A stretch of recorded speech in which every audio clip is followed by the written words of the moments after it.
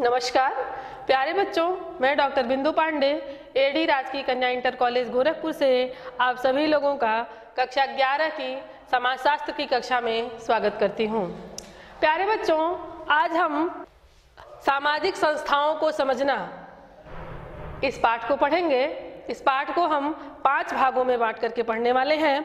आज इसका प्रथम भाग हम लोगों की पाठ्य वस्तु है। तो आइए बच्चों, हम एक दृष्टि डालते हैं और समझते हैं कि हमारी आज की पाठ्य वस्तु क्या है।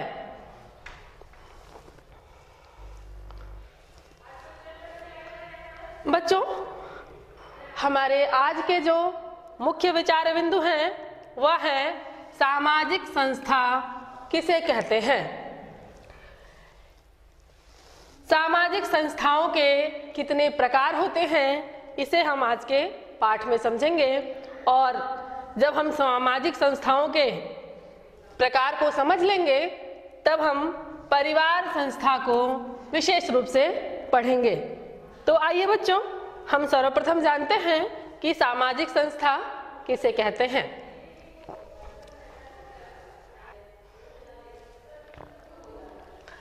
सामाजिक संस्थाओं को सामाजिक मानकों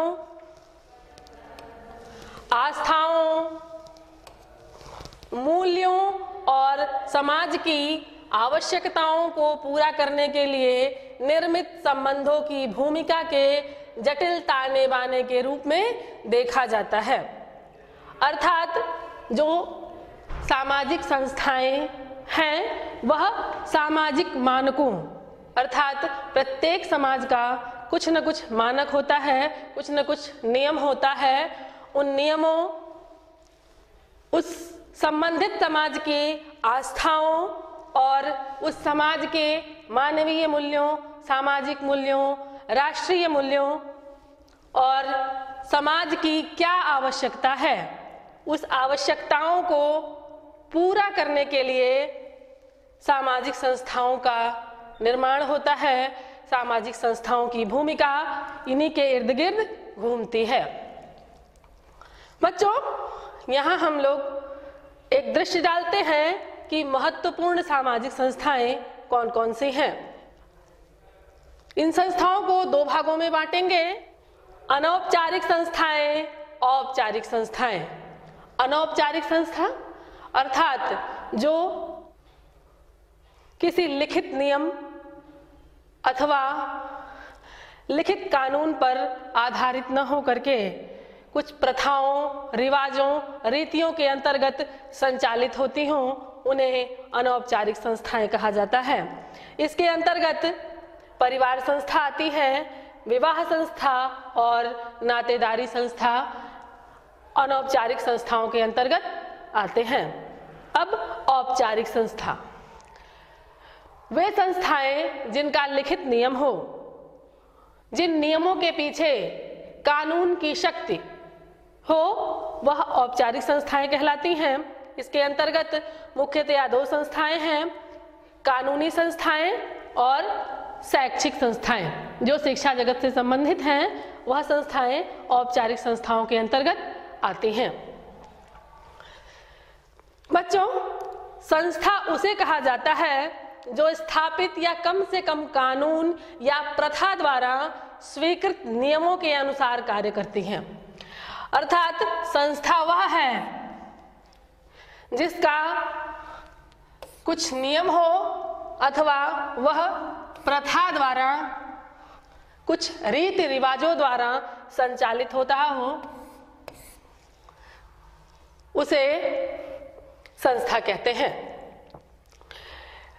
और उसके नियमित तथा निरंतर कार्य संचालन को इन नियमों के काम जाने बिना समझा नहीं जा सकता है। अर्थात, जिस संस्था का जो नियम है, उसको जाने बिना, उस संस्था के कार्य संचालन को हम नहीं समझ सकते हैं। ये संस्थाएँ व्यक्तियों पर प्रतिबंध भी लगाती हैं और व्यक्तियों को अवसर भी प्रदान करती हैं। ये सामाजिक संस्थाएँ सामाजिक जरूरतों को पूरा करने के लिए विद्यमान होती हैं। बच्चों, हम परिवार संस्था को देख लें, जिसे हम आज विशेष रूप से पढ़ने वाले हैं। तो हम सर्वप्रथम जानते हैं कि परिवार क्या होता है। मूल परिवार को औद्योगिक समाज की आवश्यकताएँ पूरी करने वाली एक सर्वोत्तम साधन संपन्न निकाय के रूप में देखा जाता है। अर्थात, जो औद्योगिक समाज है, उसके लिए श्रम की उपलब्धता परिवार द्वारा ही होती है। ऐसे में परिवार में घर का एक सदस्य बाहर से कार्य करता है और दूसरा सदस्य घर व बच्चों की देखभाल करता है। विभिन्न समाजों में परिवार के भिन्न भिन्न रूप पाए जाते हैं। उनको हम यहाँ देखते हैं। हमारा पहला प्रकार है कि यदि हम आवास या स्थान के आधार पर परिवार का प्रकार समझें तो यह प्रकार दो प्रकार का होता है। पितृस्थानिक और दूसरा है मातृस्थानिक। अर्थात, जब विवाह के बाद कन्या अपने पिता का घर छोड़ करके पति के घर चली जाती है, पति के घर में निवास करने लगती है, उसके बच्चे भी वहीं जन्म लेते हैं और उस परिवार के भरण पोषण का उत्तरदायित्व पिता पर होता है। वह पितृस्थानिक परिवार कहलाता है। इसमें परिवार का मुखिया पिता होता है। मातृस्थानिक में माता परिवार की मुखिया होती है और किन्हीं किन्हीं स्थानों पर जो बच्चे जन्म लेते हैं, उनके पिता नियत नहीं होते हैं कि उनके वास्तविक पिता कौन हैं। माता ही उस परिवार में सर्वे सर्वा होती है। यह मातृस्थानिक परिवार का स्वरूप है। यह आवास और स्थान के आधार पर हमने समझा है। हमने जाना है कि जब हम आवास या स्थान के आधार पर विभाजन करेंगे तो परिवार दो प्रकार के पाएँगे, पितृस्थानिक और मातृस्थानिक। अब हम दूसरे प्रकार भी देखते हैं। अधिकार और प्रभाव के आधार पर। यदि हम अधिकार और प्रभाव के आधार पर परिवार का विभाजन करें तो भी परिवार दो प्रकार के हैं, पितृसत्तात्मक और मातृसत्तात्मक। अर्थात, जिस परिवार में पिता का प्रभाव सर्वाधिक हो, पूरे परिवार के भरण पोषण का कार्य पिता करता हो, परिवार का समस्त निर्णय पिता लेता हो, वह पितृसत्तात्मक परिवार कहलाता है। मातृसत्तात्मक परिवार, जिस परिवार की मुखिया महिला हो, पूरे परिवार का उत्तरदायित्व महिला पर हो, और समस्त निर्णय महिला ले, वह मातृसत्तात्मक परिवार कहलाता है। वंश के आधार पर, जब परिवार का वंश पिता के नाम पर संचालित हो तो वह पितृवंशीय परिवार कहलाता है। और जब माता के नाम से वंश का संचालन हो तो वह मातृवंशीय परिवार कहलाता है। इस प्रकार बच्चों, हमने आवास या निवास स्थान के आधार पर परिवार का प्रकार देखा, अधिकार और प्रभाव के आधार पर परिवार देखा, और वंश के आधार पर परिवार देखा, कुल मिलाकर हमने यही समझा कि परिवार मुख्यतः दो प्रकार के होते हैं। या तो उसमें पिता प्रधान होता है, या माता प्रधान होती है। परिवार के कुछ और प्रकार भी देखने को मिलते हैं। जन्म का परिवार और प्रजनन का परिवार। जन्म का परिवार, अर्थात बच्चा जिस परिवार में जन्म लेता है वह उसके जन्म का परिवार होता है।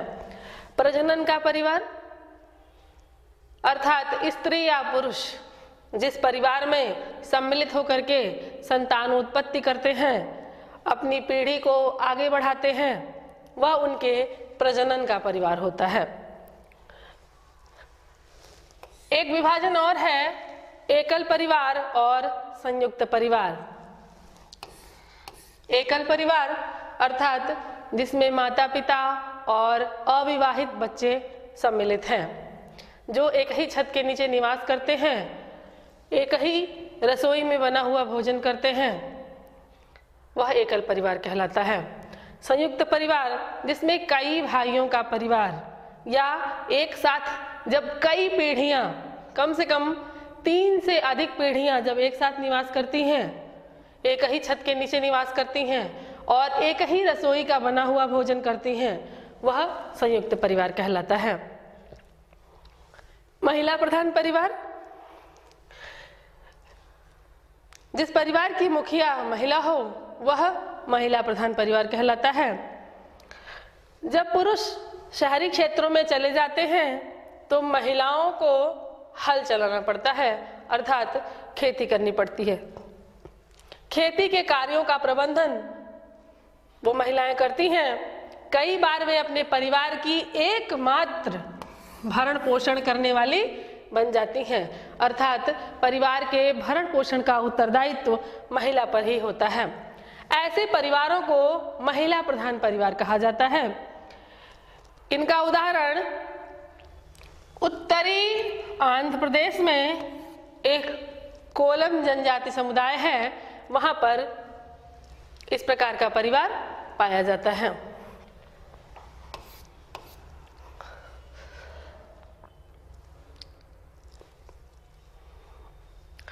बच्चों, परिवार पर यह आरोप लगता रहा है और कहीं कहीं पर यह सत्य भी है कि परिवार लिंगवादी होता है। लिंगवादी होने से तात्पर्य है किसी लिंग विशेष को विशेष प्रश्रय मिलना और किसी लिंग विशेष को उपेक्षित करना। आज भी यही विश्वास है कि लड़का वृद्धावस्था में अभिभावकों की सहायता करेगा और लड़की विवाह करके दूसरे के घर चली जाएगी। इस तरह लड़कियों की उपेक्षा की जाती है। यह भावना अभिभावकों के मन में आ जाती है कि बेटा ही हमारे वंश को आगे बढ़ाएगा, वही हमारे काम आएगा वही हमारा भरण पोषण करेगा। लड़कियों को विशेष ध्यान देना, उनको शिक्षा देना। दूसरे के आँगन में लगे हुए वृक्ष को सींचने के बराबर है। तब इस तरह की स्थिति उत्पन्न होती है कि लड़कियों की परिवार में उपेक्षा होने लगती है। भारत में यह स्थिति अनेक स्थानों पर पाई जाती है। इसी भावना के कारण कन्या भ्रूण हत्या को बढ़ावा मिलता है। 2001 की जनगणना के अनुसार भारत में प्रति हज़ार लड़कों पर नौ सौ सत्तानवे लड़कियाँ ही मात्र हैं। भारत के कुछ प्रदेश जो समृद्ध हैं, परंतु वहाँ पर हालात बहुत ही कठिन हैं। लड़कियों का रेशियो लड़कों के मुकाबले बहुत ही कम है। ये राज्य हैं पंजाब, हरियाणा, महाराष्ट्र, पश्चिमी उत्तर प्रदेश आदि। इन स्थानों पर कन्या भ्रूण हत्या या कन्या के जन्म के बाद उनकी हत्या बहुत अधिक संख्या में प्रचलित है, जिस कारण लड़कियों की संख्या लड़कों के मुकाबले बहुत ही कम है और विवाह के लिए लड़कों को अन्य प्रदेशों से लड़कियाँ लानी पड़ती हैं। बहुत ही दयनीय स्थिति है इन लोगों की।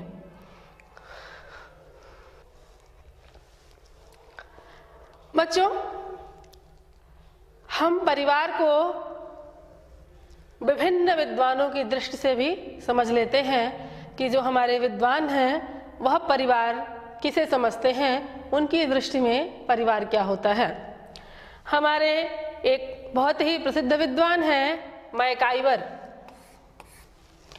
इनके अनुसार परिवार बच्चों की उत्पत्ति एवं पालन पोषण की व्यवस्था करने हेतु पर्याप्त रूप में निश्चित और स्थायी यौन संबंध से परिभाषित एक समूह है। मैकाइवर के अनुसार निश्चित और स्थायी यौन संबंध से परिभाषित, अर्थात निश्चित व्यक्तियों के निश्चित संबंध से जो बच्चे उत्पन्न हुए हैं, उन बच्चों की उत्पत्ति और उनके पालन पोषण की व्यवस्था करने हेतु जो समूह बना है उसे परिवार कहते हैं। इनके अनुसार पति पत्नी और बच्चे मिलकर परिवार बनाते हैं। एक दूसरे विद्वान हैं, क्लेयर। इन्होंने भी यही कहा है कि परिवार पति पत्नी एवं बच्चों से निर्मित एक जैविक, सामाजिक इकाई है। अर्थात परिवार में जैविक माता पिता और जैविक संतान निवास करते हैं। दूसरे हमारे अन्य विद्वान हैं वर्गेस एवं ला ये हमारे दूसरे अन्य विद्वान हैं। इनके अनुसार परिवार उन व्यक्तियों का एक समूह है जो विवाह रक्त या गोद लेने के बंधनों से जुड़े हुए हैं। एक गृहस्थी का निर्माण करते हैं और पति पत्नी माता पिता पुत्र और पुत्री, भाई और बहन अपने अपने क्रमशः सामाजिक कार्यों अंत क्रिया एवं अंत संचार करते हुए तथा एक सामान्य संस्कृति का निर्माण करते हैं। बहुत ही उत्तम परिभाषा इन्होंने दी है। इन्होंने इस तरफ़ ध्यान आकृष्ट किया कि हर परिवार की एक संस्कृति होती है। एक परिवार का नियम होता है और प्रत्येक परिवार में हर सदस्य का कुछ निर्धारित कार्य होता है, कुछ निर्धारित उत्तरदायित्व होता है। बच्चा,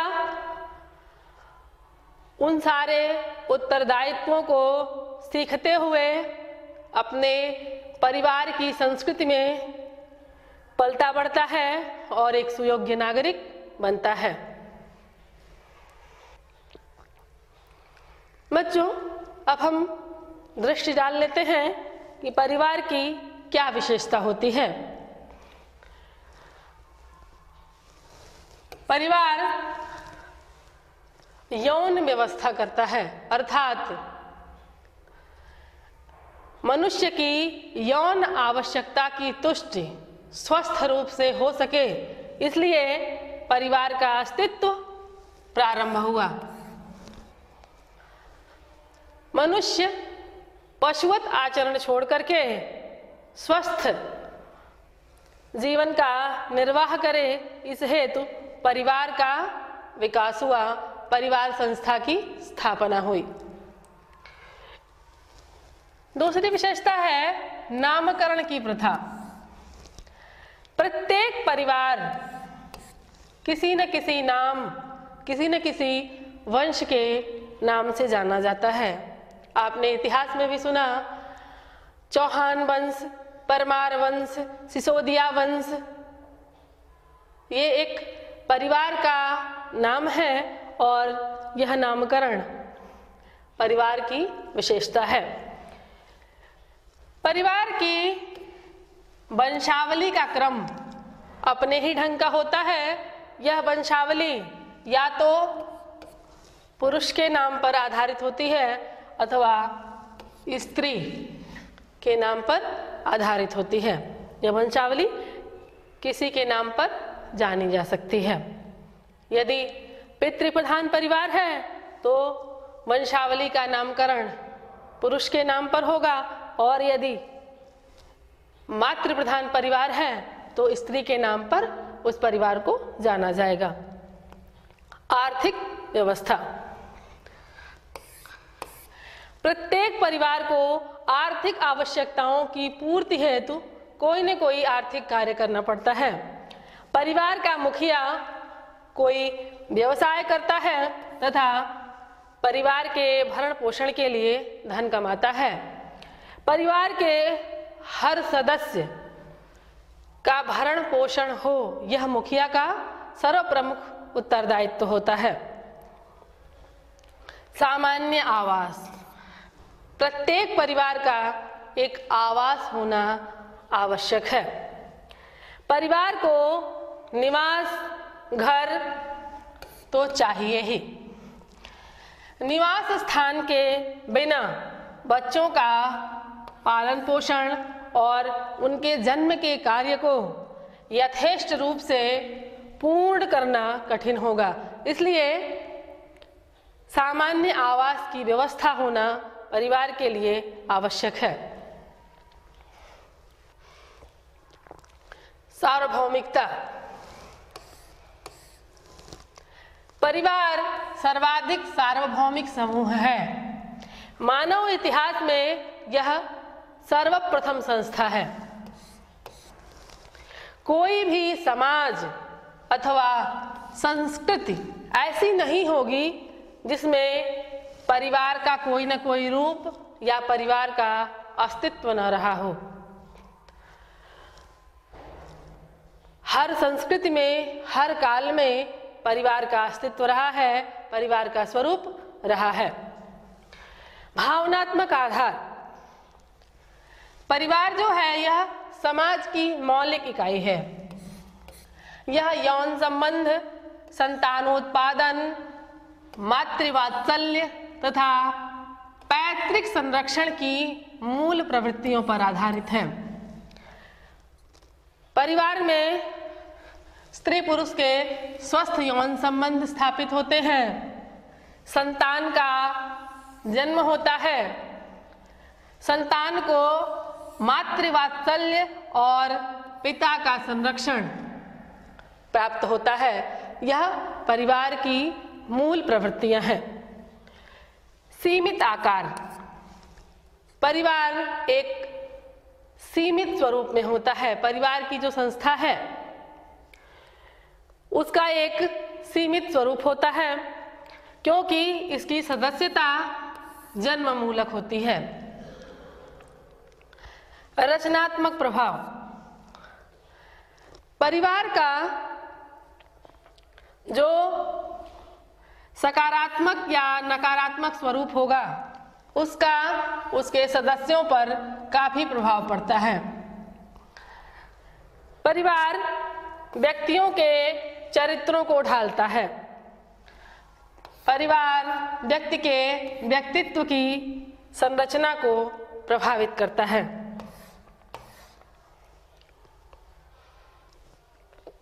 केंद्रीय स्थिति। परिवार सभी अन्य सामाजिक समूहों का केंद्र है। सारे सामाजिक समूह परिवार से ही संचालित होते हैं। प्रत्येक मनुष्य किसी न किसी परिवार का सदस्य होता है। संपूर्ण सामाजिक संरचना पारिवारिक इकाइयों की निर्मित है। सदस्यों का उत्तरदायित्व। परिवार में बच्चा सामाजिक दायित्व का अर्थ एवं सहयोग की आवश्यकता को सीखता है। हमारा समाज के प्रति क्या उत्तरदायित्व तो है? या हमें किसका सहयोग प्राप्त करना चाहिए या किसका सहयोग लेना चाहिए, यह बच्चा परिवार में ही सीखता है। सामाजिक नियमन।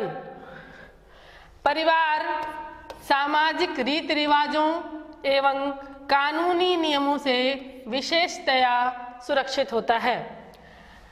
परिवार के नियमों को भंग करना आसान नहीं होता। जिस परिवार का जो नियम है, उस नियम को तोड़ना बच्चे के लिए या परिवार के किसी भी सदस्य के लिए आसान नहीं होता। परिवार संस्था की व्यवस्था क्यों? बच्चों, हम ये जान लें कि परिवार संस्था की व्यवस्था करने की क्या आवश्यकता है। पहली आवश्यकता तो है कि लैंगिक आवश्यकता की तुष्टि।